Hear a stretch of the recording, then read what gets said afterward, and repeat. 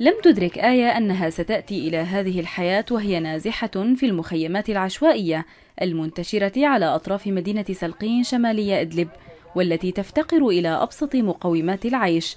فكيف وإن كانت الاحتياجات لطفل لم يتجاوز عمره بضعة أيام أو أشهر؟ وأنا يعني على وجه ولادي طلعنا على الزيتون بين الزيتين. ضلينا قاعدين بين الزيتين بيجي 15 نهار. يعني ولدت تحت الزيتون. طفلي هلا مريضة. صرنا يومين أنا ما في لا حليب ولا شيء لزن ما من دون أكل.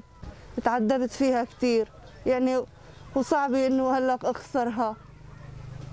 حسبنا الله ونعم الوكيل. حالة آية ليست الوحيدة. فهناك 14 طفلا وطفلة حديثو الولادة ضمن هذا المخيم الذي يضم 60 عائلة تعيش داخل 30 خيمة وسط معاناة واحتياجات جمة وخاصة فيما يتعلق بمتطلبات هؤلاء الأطفال وأمهاتهم. نحن نازحين من ريف حماه وجينا لهوني. يعني طلعنا تحت الصفر. يعني شيء ما جبنا معانا. وهذا الولد يجي هون بالمخيم. شوف بده حليب يعني بده حفوضات بدنا أدوية. يعني دكاترة شيء ما في. بي نسوان بي أولاد بي أطفال. يعني عالم جوعاني. بعالم عنده ما بتحسن لا تجيب لا أكل لا شرب لا شيء لا شيء يعني.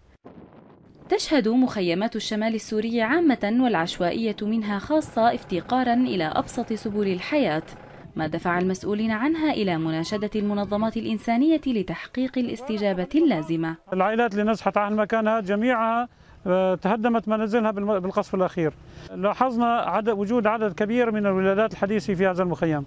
وفقر شديد بحاجة إلى حليب أطفال بحاجة إلى رعاية صحية مستمرة ودورية. فنطلب ونناشد المنظمات الإنسانية مد يد العمل والنظر في وضع أهلنا النازحين المهجرين آه، من جراء القصف الأخير الهمجي على آه، ريف حماس الشمالي وريف إدلب الجنوبي.